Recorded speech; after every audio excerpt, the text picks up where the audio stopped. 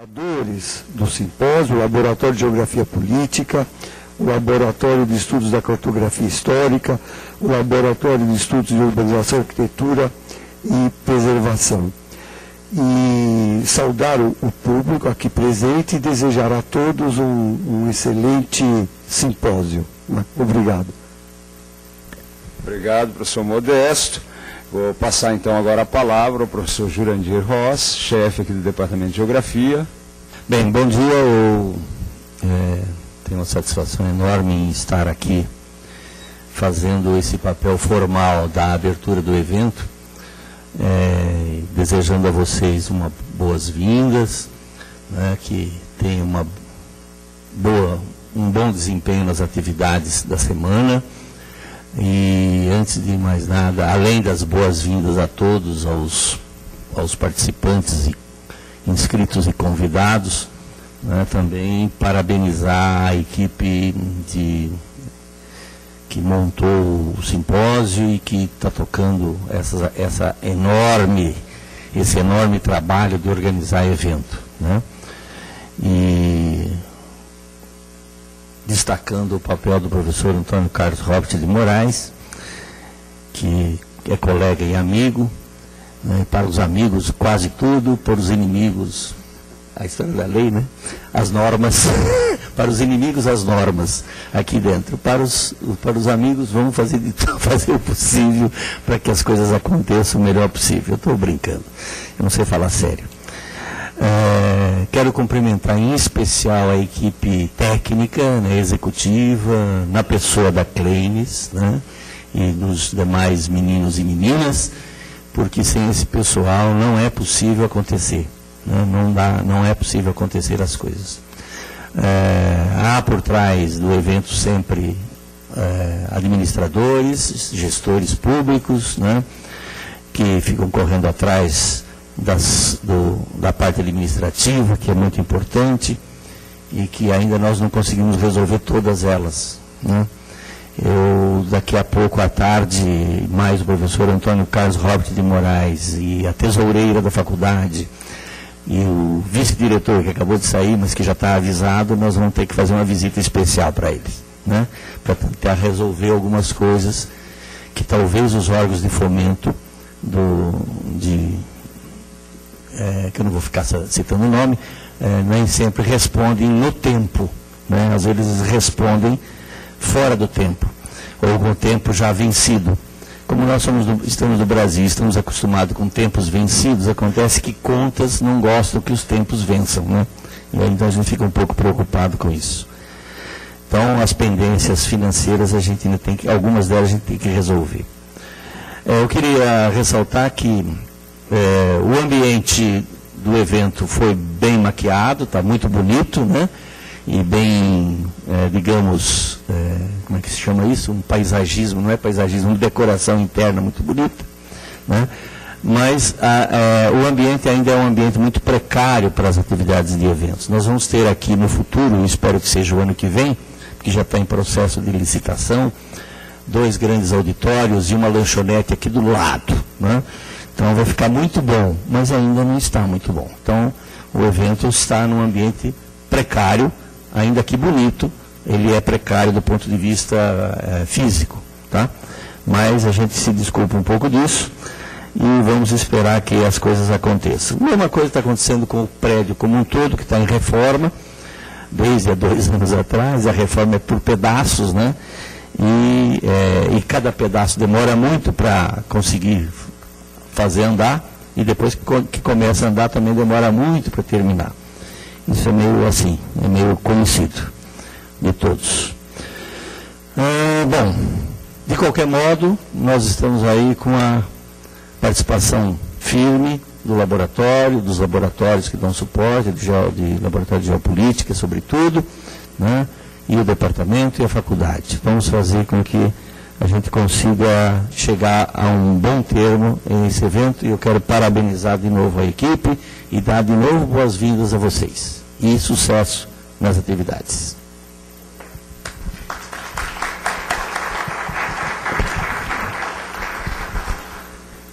Bem, eu queria também somar aqui minhas palavras ao dos colegas que me antecederam, dizer do prazer de estar sediando esse evento em sua terceira edição, ah, o primeiro simpósio ibero-americano de História da Cartografia foi realizado em 2006 em Buenos Aires, por uma iniciativa da professora Carla Lois e da professora Perla Zuzman, certo? A segunda edição foi realizada na cidade do México, certo? Por uma iniciativa do professor Omar Moncada Maia, do professor Hector Vargas. E para nós é um prazer muito grande estar sediando a terceira edição. Trata-se de um fórum de discussão especializado, de um tema extremamente importante, a história da cartografia, e que permite uma rica interlocução entre diferentes campos disciplinares certo? que em si mesmo revela uma série de questões metodológicas também muito interessantes. É um tema interdisciplinar por excelência, como a gente pode ver na nossa própria programação aqui, se vocês verem os, os expositores, os participantes, nós temos geógrafos, arquitetos, urbanistas, botânicos, arqueólogos, num grande debate sobre a égide fundamental da área de história. A história que, ao nosso ver, permite explicar todos os discursos e todas as formas de representação, na medida em que estes são construções humanas e sociais. Então, esse rico debate, esse rico diálogo trans e interdisciplinar, que visa, em primeiro lugar, oferecer aos nossos alunos uma discussão de qualidade, reunir especialistas e jovens pesquisadores do tema da história da cartografia e fazer um balanço da produção sobre o tema. Tá? Um tema que é um tema estratégico para nós que vivemos em sociedades pós-coloniais, certo? onde a apropriação dos espaços é uma determinação básica da nossa formação histórica. Tá? Então, para nós é fundamental a discussão da história da cartografia, história da geografia, história territorial. Certo? E fazer isso no âmbito do mundo ibero-americano, certo? Não fazendo do mundo ibero-americano uma fronteira ao diálogo internacional, mas tomando como um recorte analítico de pesquisa. Tá? Então, é dentro desse espírito, com muito carinho, que nós recebemos os colegas de outras universidades, de outras partes do país e de outros países. Tá? Esperamos que todos tenham uma agradável estada aqui em São Paulo e levem uma visão da USP como um lugar de aconchego acadêmico, certo? Com discussões sérias, num clima de cooperação e respeito. Nós temos clareza que a vida acadêmica rica e intensa é o melhor antídoto contra a burocratização e o produtivismo que assolam a prática universitária hoje. Sem dúvida nenhuma, o melhor antídoto é o debate acadêmico. Eu gostaria aqui de agradecer, em primeiro lugar, à USP, a própria direção da universidade, que nos deu muito apoio, a direção da Faculdade de Filosofia, Letras e Ciências Humanas e a direção do Departamento de Geografia, certo? Sem o esforço dos dirigentes dessas instituições, seria impossível a realização desse evento. Gostaria de agradecer também às agências financiadoras, à Coordenadoria de Aperfeiçoamento do Pessoal do Ensino Superior, do Ministério da Educação, a CAPES, e à Fundação de Amparo à Pesquisa do Estado de São Paulo, pelo apoio financeiro ao evento. E lembrar que várias unidades aqui da universidade foram envolvidas na organização, certo? Que é altamente salutar, quer dizer, além do Departamento de Geografia já citado, uma presença intensa e constante do Departamento de História, da Faculdade de Arquitetura e Urbanismo, do Instituto de Estudos Brasileiros, certo? Todos muito animados na concretização dessa iniciativa. Tá? Então, quer dizer, a prática da interdisciplinaridade, do diálogo entre áreas, já na organização do evento. Bem, são essas palavras iniciais que eu gostaria de trazer, dizer bem-vindos a todos aqui e tenho certeza que vamos ter alguns dias de um excelente trabalho. Tá? Muito obrigado. E então agora completa a, sessão de abertura, pouco formal, como também deve ser, nós vamos passar a primeira conferência da, da nossa programação, certo? A ser realizada pelo professor Nestor Goulart Reis Filho, certo? Aqui eu chamo para, para vir à mesa, por favor, professor Nestor.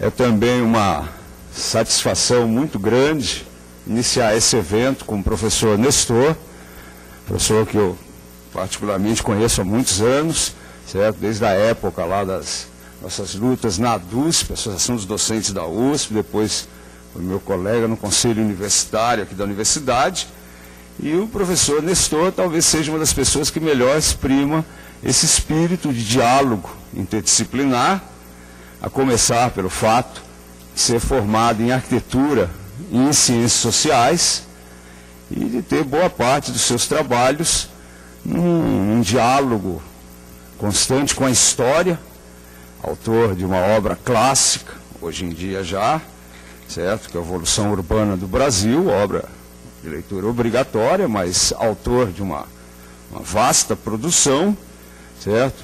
E é um prazer muito grande tê-lo aqui na conferência de abertura, certo? Eu sou de uma geração, minha geração de graduação, havia muito a disputa e um certo é, enfrentamento entre geografia e arquitetura, certo? Ia naquele começo dos anos 70, certo? Muita disputa entre as duas áreas, certo? Era muito forte isso para a minha geração, porém, mesmo naquele momento, certo? Estava claro para muita gente que o corporativismo não é um bom conselheiro para as atividades certo? universitárias.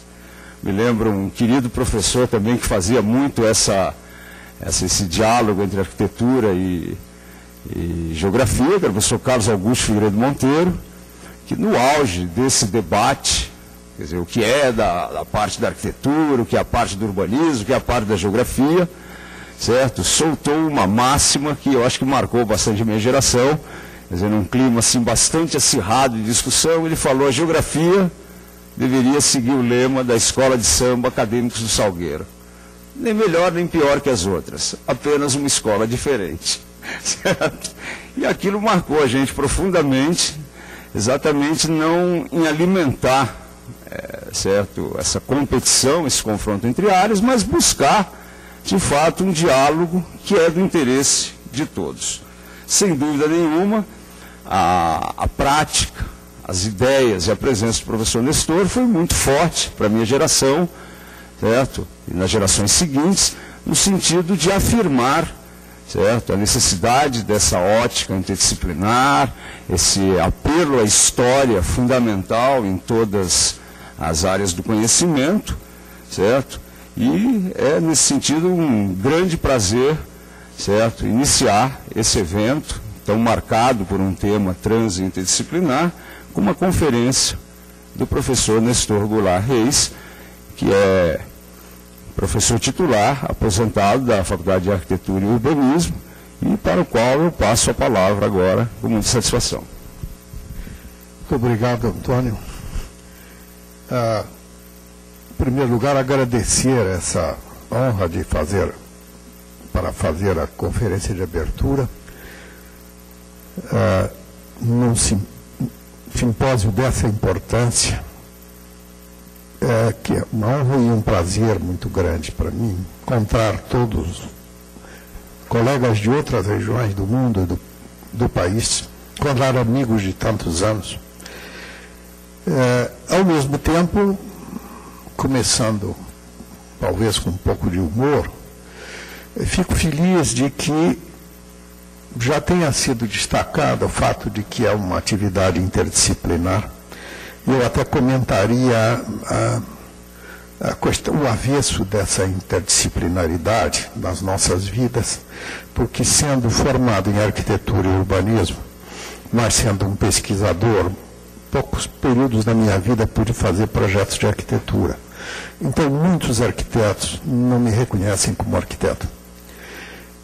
E os meus livros, nas últimas décadas, estão centrados na história do urbanismo e da urbanização. Mas, como eu não trabalho em repartições públicas, muitos urbanistas não me reconhecem como urbanista. E também sou formado por essa faculdade em ciências sociais, mas como não exerço essas atividades burocráticas, também não sou reconhecido como sociólogo por a maioria dos meus colegas sociólogos, mesmo aqueles que não publicaram nenhum livro sobre a matéria. É, trabalho, afinal, basicamente com história, mas como não sou um profissional de carreira, também não sou reconhecido como historiador. E eu fico muito preocupado com a crise de identidade dos meus colegas. Não com a minha, eu não tenho nenhuma crise de identidade na multidisciplinaridade. Estou extremamente feliz com o meu tipo de trabalho. Sou aposentado realmente, mas é uma aposentadoria secreta é, continuo no exercício das atividades como pesquisador e professor, até mais intensamente. Tenho publicado, em média, um livro por ano, estou muito satisfeito com isso, após a, o ato da aposentadoria formal. E nunca sei exatamente é, se estou me divertindo ou estou trabalhando. Eu gosto imensamente do que estou fazendo, de forma que posso ficar com muita pena dos colegas que têm essas crises de identidade. Eu não tenho. O título do trabalho é Cartografia na História da Urbanização e do Urbanismo, o título da, da fala. A nossa atenção se volta hoje para a história da cartografia.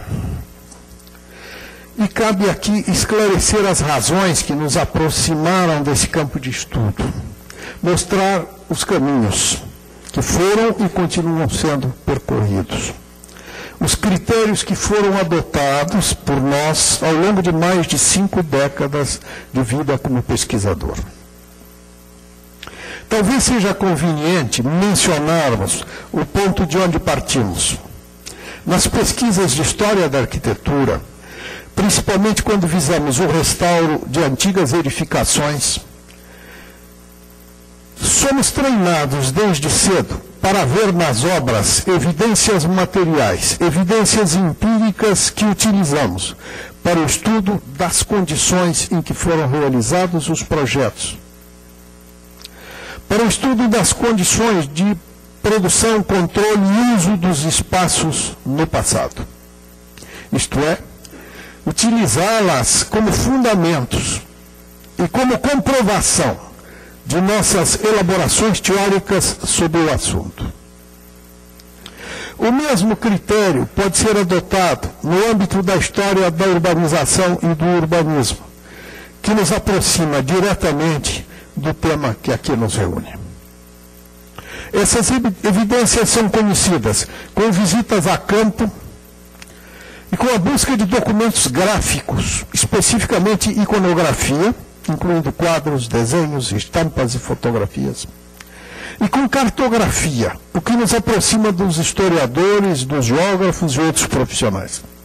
Nas visitas a campo, encontramos alguns pontos em comum com a arqueologia, sobretudo quando utilizamos método, os métodos relacionados com o restauro das edificações, para conhecermos os programas de uso dos espaços, os projetos e os edifícios aos quais esses espaços deram origem no passado.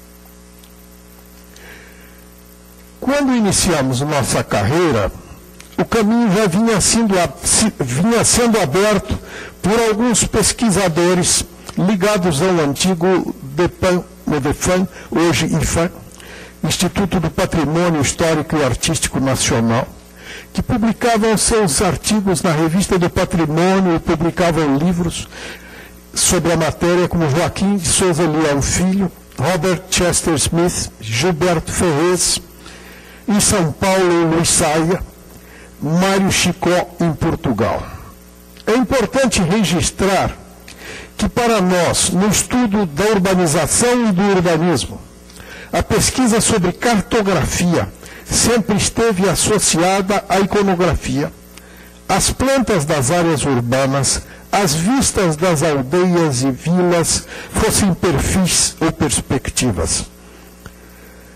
É importante também registrar que, ao menos no tempo dos engenheiros militares portugueses ou a serviço de Portugal, formados nas aulas de arquitetura militar, que eram os autores dos mapas, como das plantas das cidades, dos perfis e perspectivas. Para isso, eram treinados especificamente, como demonstrou Beatriz Siqueira Bueno. Essa era uma cartografia em sentido amplo, elaborada em todas as suas formas, com os mesmos princípios e os mesmos métodos. Devemos explicitar as diferentes modalidades de documentação cartográfica e iconográfica e as formas como as utilizamos em nossas pesquisas. A diversidade dos instrumentos fica mais clara quando lembramos que não estudamos apenas o urbanismo, ou seja, as ações para projetar, construir e controlar espaços intraurbanos, mas também a urbanização como processo social, de formação de redes ou sistemas de núcleos urbanos, em suas várias escalas de organização.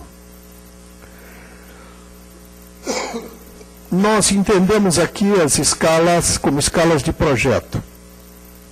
Essas diferenças entre as escalas das atividades de projeto, com as características para as quais chamou atenção Bernard Lepti, podem ser observadas em nosso livro Dois Séculos de Projetos em São Paulo, As Grandes Obras e a Urbanização, 1800 e 2000, editado há poucos dias pela Eduspo, editora da Universidade. Alguns desses livros estarão depois à disposição com Beatriz para quem quiser examiná-los.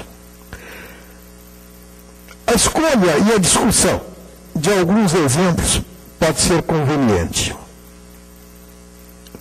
Primeiro trabalho que realizamos com essas características fez parte das pesquisas das quais resultou a tese, depois publicada em livro, com o título Evolução Urbana do Brasil, 1500-1720. Aos que não têm contato direto com o nosso trabalho, esclareço que o nome Evolução Urbana não era o adequado, era um título obrigatório por uma lei federal não permitia a um professor titular, um catedrático, fazer uma tese sobre um tema que não fosse previsto no currículo das universidades federais. Então, o nome não é exato entre colegas especialistas. Eu devo esclarecer que sempre tive consciência que o nome seria a História da Urbanização do Urbanismo no Brasil, mas isso não era possível na época.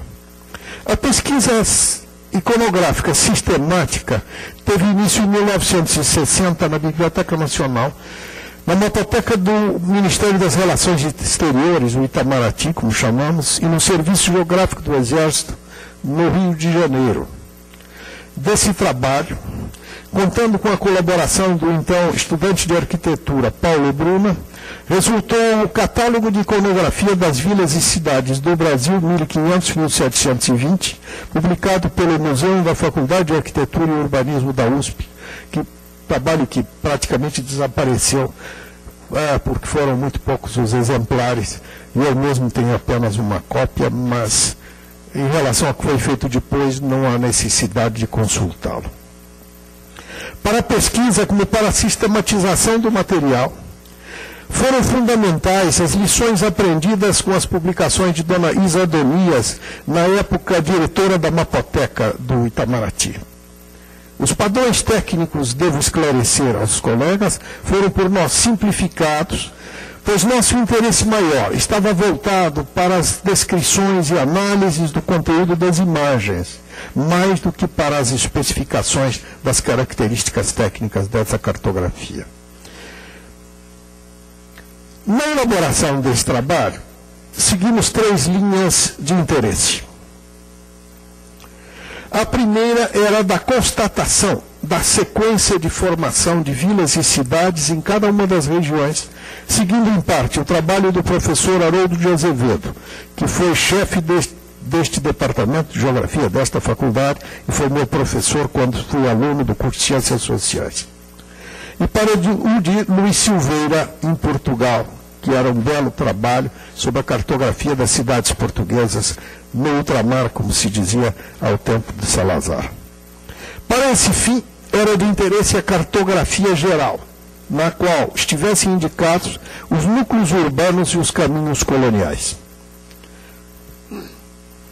Outra linha era do estudo das plantas, isto é, do traçado das áreas urbanas, quanto possível obter, com documentos de épocas diferentes para estudo de sua evolução, com base em plantas quase todas levantadas pelos mesmos engenheiros militares. A terceira, valendo-se dos mesmos recursos, era a análise das formas do espaço intraurbano, organizado como tecido urbano, como dizem os arquitetos, e como paisagem. Para essa, eram também importantes a cartografia com os perfis, as perspectivas, perdão, era também importante. A cartografia com os perfis, as perspectivas as informações sobre os edifícios mais destacados e, como lembrou há pouco Rafael Moreira, é, aquela, aquele espaço para o qual Robert Smith começou a chamar a atenção, a dos padrões da arquitetura mais comum. As análises sobre esses padrões deveriam ser alicerçadas também no exame dos documentos escritos, como atas e decisões das câmaras. No exame das formas de urbanismo, estudávamos os projetos e os padrões definidos para os conjuntos urbanísticos monumentais, como os de São Luís do Maranhão, para os séculos XVII e XVIII, como o do Morgado de Santa Bárbara, que nós veremos em seguida, mais tarde, o Cais da Farinha, o Cais das Amarras, em Salvador, o Pátio do Carmo, no Rio de Janeiro, as praças e sobrados de Belém, estudadas aqui por nossa colega Renata que hoje vive em Portugal.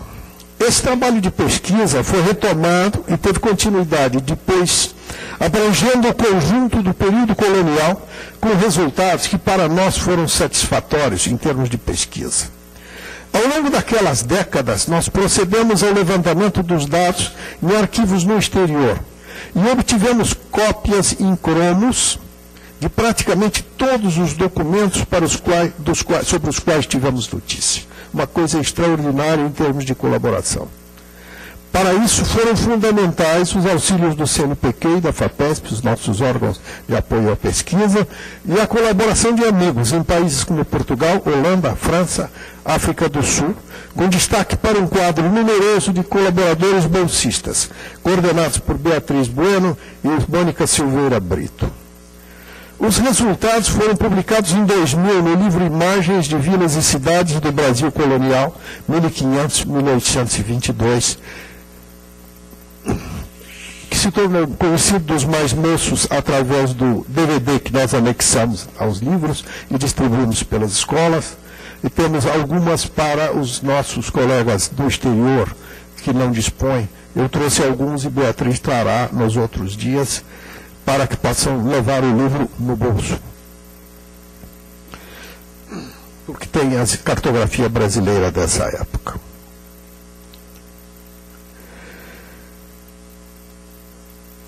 o exame das imagens incluídas nesse livro nos permitem constatar a diversidade das formas cartográficas utilizadas,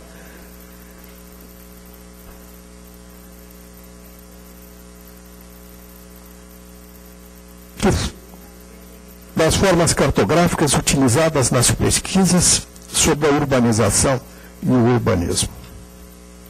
Para nós eh, não bastam as plantas, eh, mapas gerais, nem as plantas das cidades.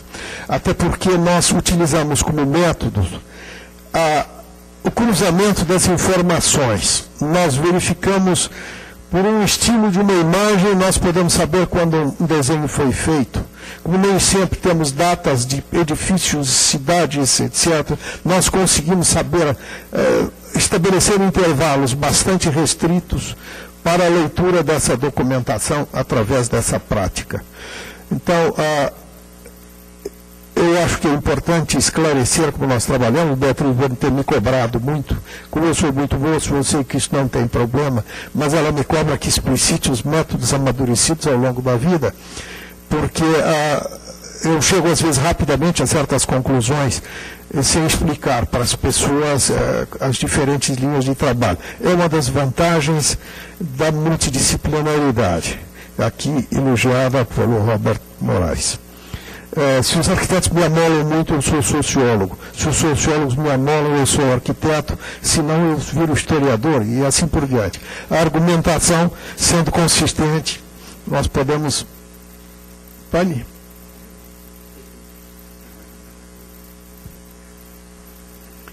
É, eu continuo achando que os nossos métodos são mais, às vezes, mais eficientes do que os dos engenheiros eletrônicos é, quando os, os, deles são utilizados, são perfeitos. Mas eu, eu, eu vou tocando minha conversa, como é só para mostrar, não, não, não, tem problema algum. É o tempo de. É o tempo de, de, de necessário que é porque está muito carregado? Ah, sim, tudo bem. Então nós vamos mostrar algumas imagens sobre Salvador para mostrar a diversidade dos tipos de informação que foram mencionadas. Nós vamos mostrar as plantas do início, desenhos do início do século XVII, uma época que foram feitos muitos levantamentos. Então, nós temos é, alguns desenhos que estão no arquivo de AIA, que nós vamos mostrar, que Joaquim de Souza Leão identificou quando era embaixador do Brasil lá. Uh, traduziu esse material, depois, através da colaboração de amigos, conseguimos as cópias. Mas não tínhamos data nem autoria, então é todo um trabalho de reconstituição em cima disso. E eu consegui verificar que um, o chamado perfil da cidade de Salvador, que Souza Leão acreditava ser de 1630 aproximadamente, teria sido construído no governo de um determinado governador de, de Botelho entre 1608 e 1612, pelo que consta do desenho. Então, através do, do, estado de determinados edifícios, a presença desses edifícios, foi possível saber que não poderia ser anterior nem posterior, porque a catedral, a sede de Salvador, tinha uma forma anterior ao concílio de Trento, e ela foi reformada em 1610, 12 para ser, começou a ser reformada e aparece assim em desenhos posteriores, já com espaço para o couro sobre a entrada.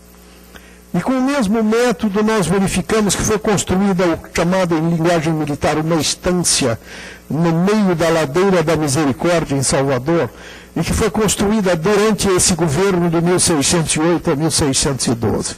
Então é possível datar perfeitamente esse perfil, que é extraordinário, e nos mostra a aparência de Salvador cerca de eh, 60 anos depois de ter sido fundada. E eu, durante muitos anos, discordei de Rafael Moreira, aqui presente, que escreveu um belíssimo artigo dizendo que Salvador foi construída dos dois lados da praça desde o início e Uh, eu, não, tinha conversado pessoalmente com ele sobre isso, então aproveito para mencionar que é muito interessante. Bom, essa é uma planta de 1604 a 1605, está aí para verem a semelhança. O que Rafael disse é que os dois lados foram construídos. Teodoro Sampaio achava que foi construído o primeiro, depois o segundo. Quando eu estava escrevendo um livro sobre a história de São Paulo, que publiquei em 2004, nos, dos 450 anos de São Paulo, eu resolvi medir as quadras de São Paulo e medir as quadras de Salvador, porque os historiadores megalomaníacos de São Paulo descreviam a planta inicial da cidade tão grande que ela teria uma população maior que Salvador. Então eu medi São Paulo para verificar que a população da época caberia, inicial, caberia em quatro quadras razoáveis como as conhecemos hoje.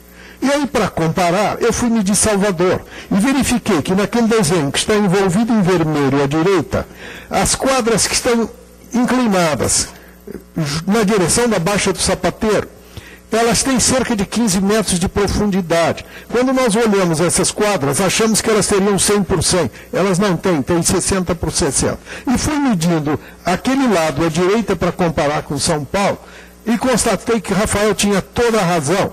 A população inicial, de mil a duas mil pessoas, o número de habitantes de Salvador, à época da sua construção, não caberia do lado direito. Era impossível. A densidade iria a 600 habitantes por metro quadrado.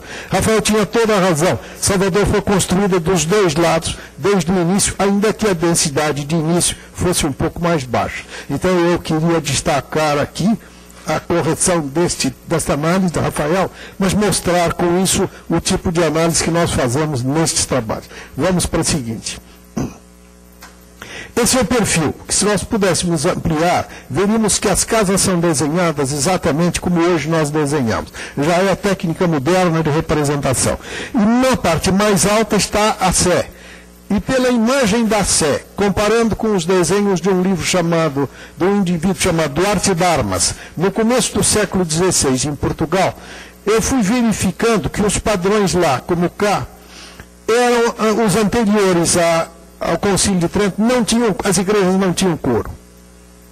Então, nesse momento, a forma era anterior ao concílio e, portanto, era a razão pela qual se fez a reforma em seguida, e se ampliou a fachada, se deu outra fisionomia à cidade. Então, nós cruzamos essas informações e, dessa forma, nós temos várias linhas de leitura que nos permitem não só datar, como compreender melhor a evolução dessas cidades. Pode passar, por favor.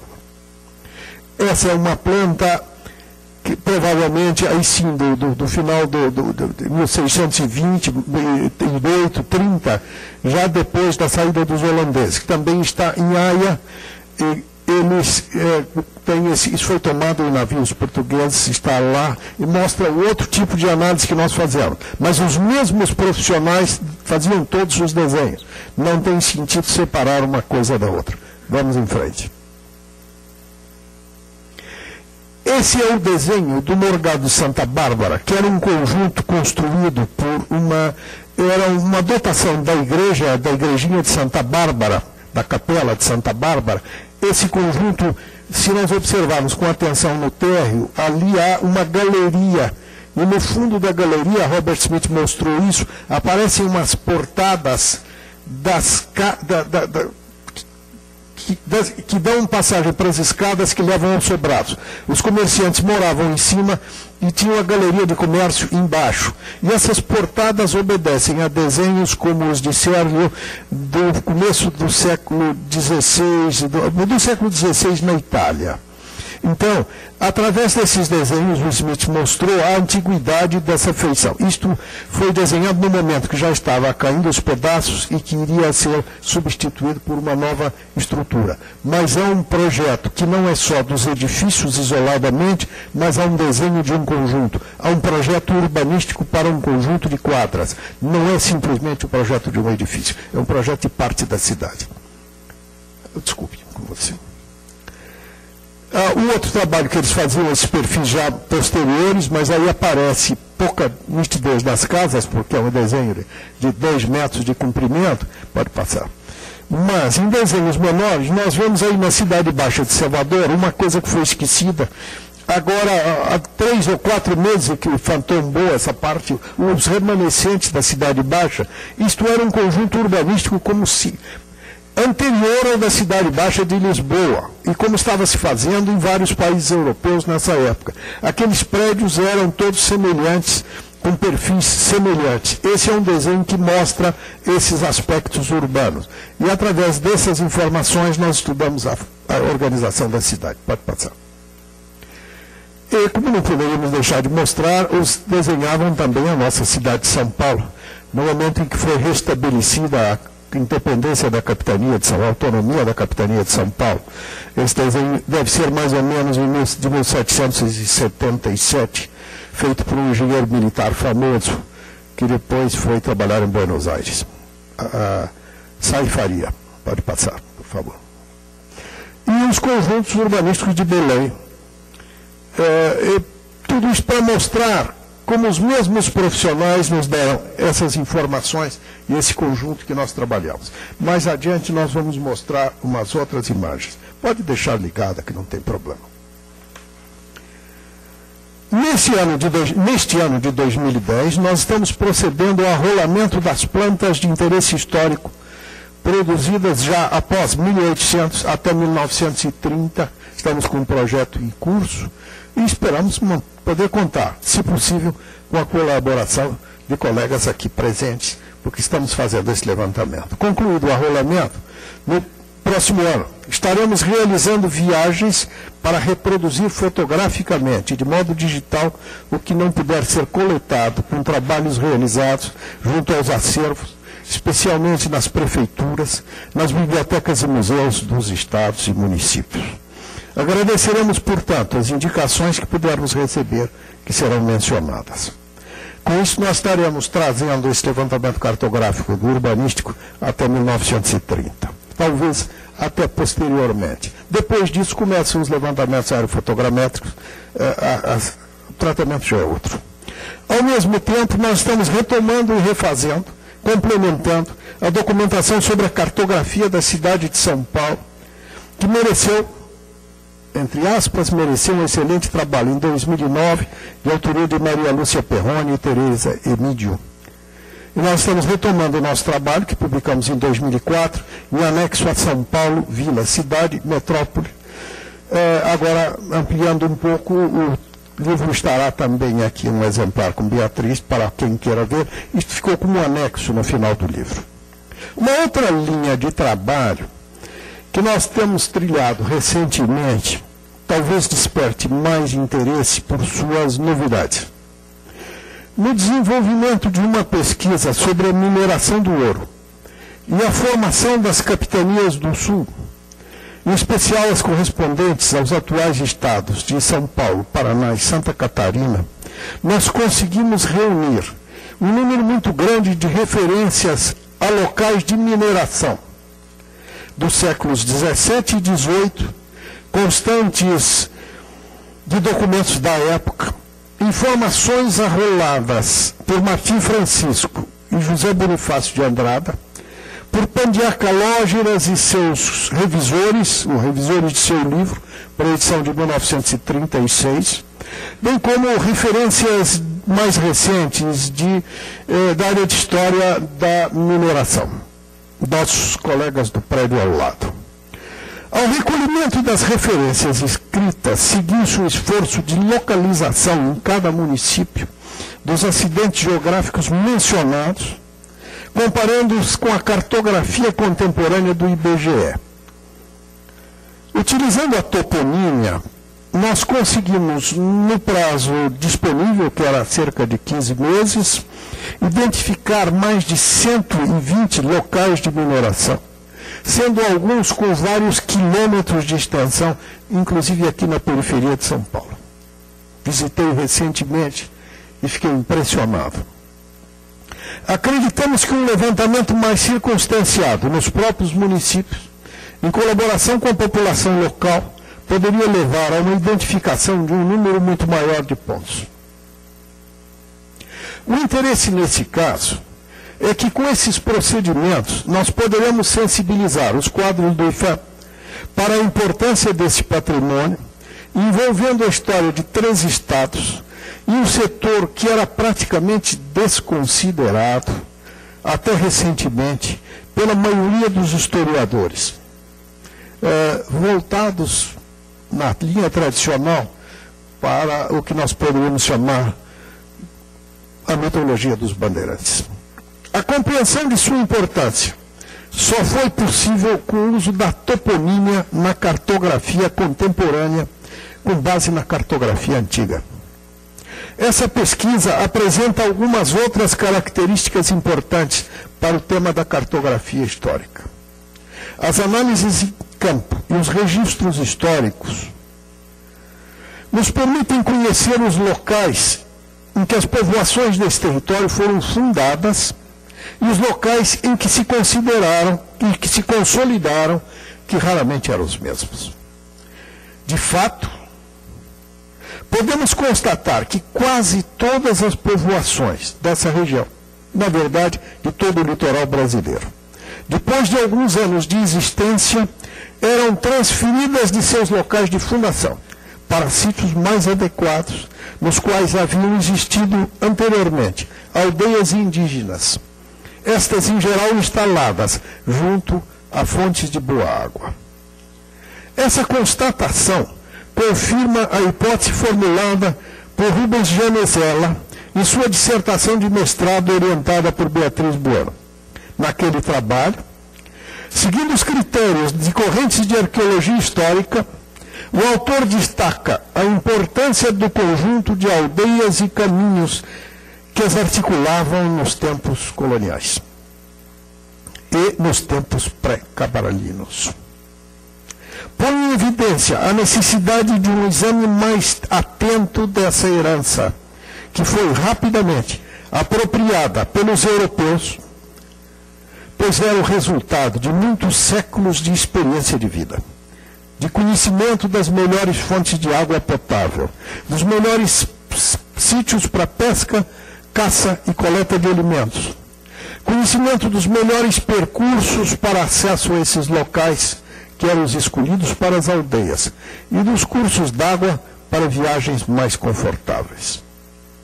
Nesse quadro, o estudo dos caminhos e das antigas povoações como foram registradas na cartografia histórica, pelo menos no território das capitanias do Sul, onde as formas elementares de mineração envolviam a participação intensa da população indígena, é também um recurso para o estudo da estreita relação entre as formas de organização do território nos séculos coloniais e as formas pré-cabralinas, portanto, para os nossos visitantes pré-colombianas, desconsideradas por quase todos nós em vários trabalhos, inclusive esse, este autor até recentemente. Com tal perspectiva, o estudo da cartografia dos tempos coloniais nos abre perspectivas mais amplas de interpretação.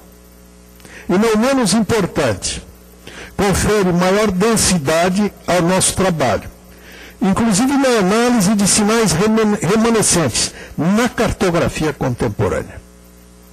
Eu até faço um parêntese para dizer que tenho insistido no Conselho do IFA, Instituto Patrimônio Histórico e Artístico Nacional, pela necessidade de tombamento, de registro em livros de tombo, dos vestígios arqueológicos das áreas de mineração e dos caminhos, o que explica a encomenda desse, dessa pesquisa como foi feita.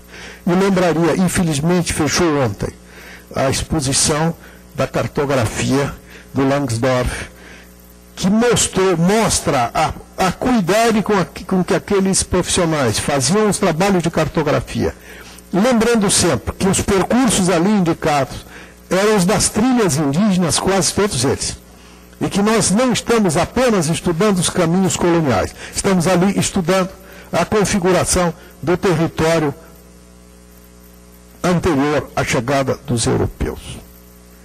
E, não menos importante, quando os portugueses, quando o Brasil se tornou independente de Portugal, na área sob controle português existiriam registrados cerca de 3 milhões, menos de 3 milhões e meio de habitantes, incluindo-se os índios nas áreas eh, relacionadas, cerca de 4 milhões e meio de habitantes e que as previsões mais, ah, as análises mais conservadoras, como a de Sérgio Buarque de Holanda, estimam que no momento da chegada dos portugueses em 1500, existiriam aqui cerca de 5 milhões de indígenas.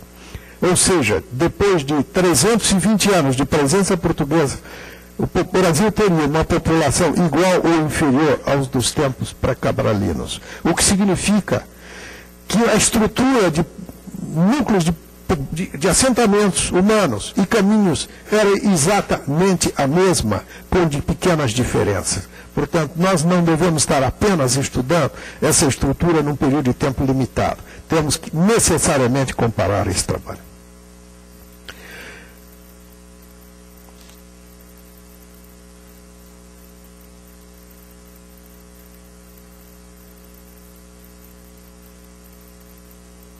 A cartografia histórica pode não se referir exclusivamente às coleções de documentos cartográficos antigos, mas também ao método de leitura da cartografia contemporânea, com uma, com uma perspectiva histórica e até arqueológica. O trabalho sobre as minas de ouro e a formação das capitanias do Sul envolveu uma minuciosa comparação entre as informações do passado, em várias formas, e as do presente, como vamos mostrar agora com algumas imagens. Pode passar, por favor. Vamos passar rapidamente, se não reclamarem, porque é mais para mostrar como é que nós trabalhamos. Não dá para fazer a análise é, da, dessa produção de ouro, é, etc.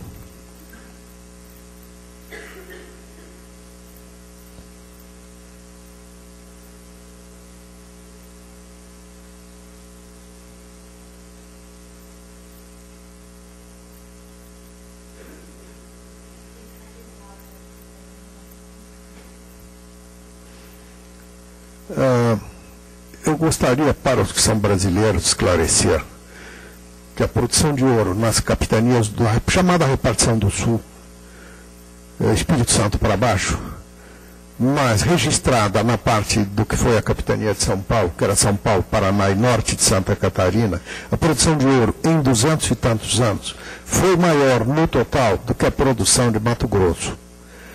Muito poucos brasileiros têm consciência disso. Foi uma produção pequena a cada ano, mas no conjunto, deslocando-se de uma região para outra, foi assim. E foi basicamente é, organizada de um outro modo, com outra forma de organização social e, portanto, outra forma de relação com o território. É esse o conteúdo desse trabalho que nós estaremos publicando em breve, que já está redigido, montado, e que eu, com o apoio do Ministério da Cultura e solicitação deles, nós devemos, talvez publicando até, até o fim do ano. Então, não se trata de uma coisa pequena, mas ao redor desta cidade existem vestígios enormes, canais de quilômetros de extensão para condução de águas, eh, regiões com, com 20 ou 30 quilômetros de extensão, trabalhadas intensamente em atividade de mineração, que foram esquecidas. E que deu uma época em que havia muito poucos registros escritos, razão pela qual se perdeu a memória disso. É, estamos como esse computador também está perdendo a memória, mas. Coragem. Não? Se não, nós continuemos.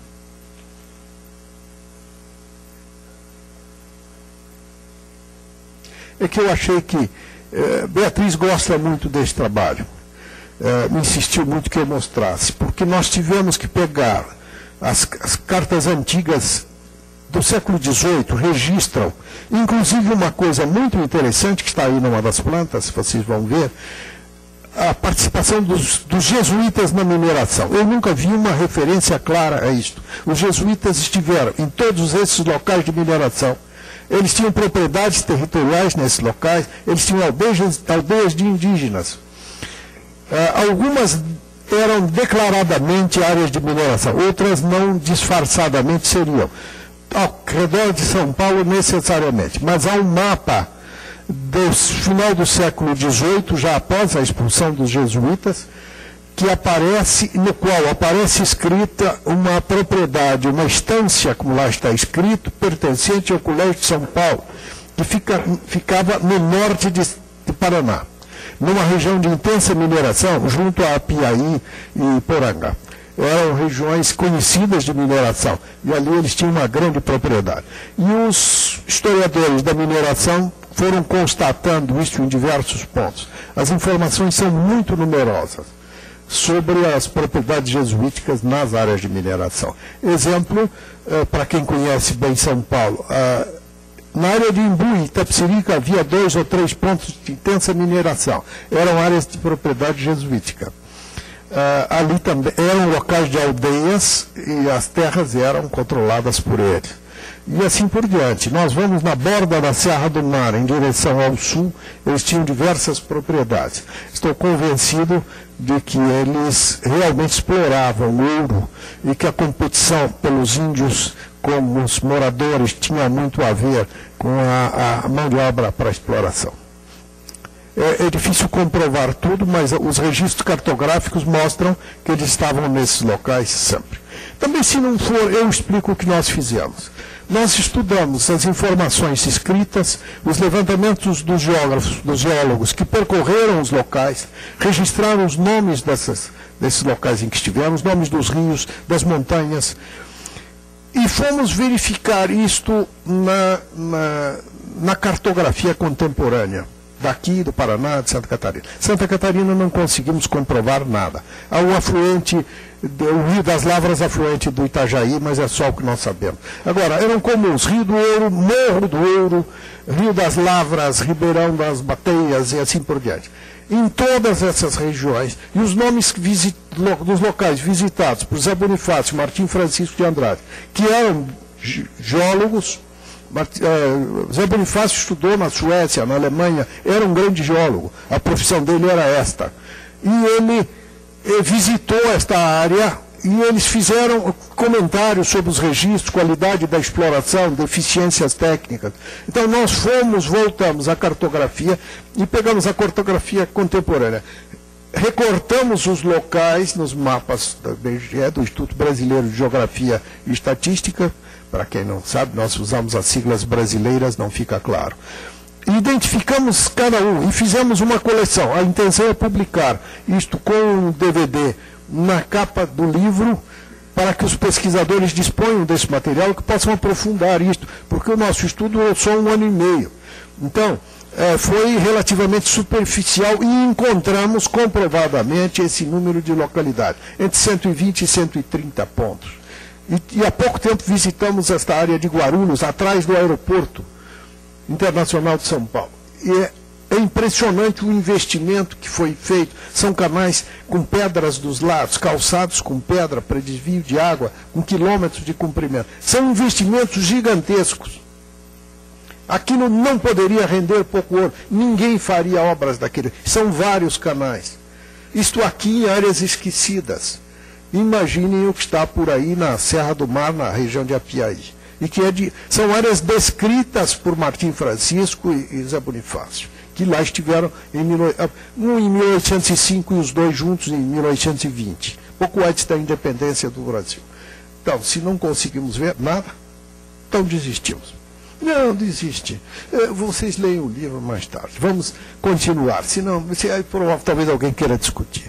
Este trabalho pequena parte do qual podemos, não podemos ver na cartografia de diferentes épocas, nos abriu a possibilidade de um programa de preservação de vestígios das antigas redes de caminho, dos locais dos antigos aldeamentos e povoações e seus registros arqueológicos, dos antigos locais de mineração e de todo o conjunto, como uma paisagem cultural como um espaço de encontro cultural, considerando que eram duas culturas e que se falava normalmente a língua tupi nessa região nesse período. Nos termos das diretrizes mais recentes do ICOMOS, órgão especializado da Unesco, com destaque para a versão adotada pela União Europeia, que é mais próxima das nossas diretrizes. Esses são apenas alguns exemplos dos usos que temos feito da cartografia um estudo sobre urbanização e urbanismo. Para os presentes, profissionais e pesquisadores especializados, talvez pareçam muito simples. Esta relação, com tal simplicidade, tem apenas como objetivo manifestar nossos agradecimentos pelo convite que nos foi feito para participar da abertura de seus trabalhos. Muito obrigado.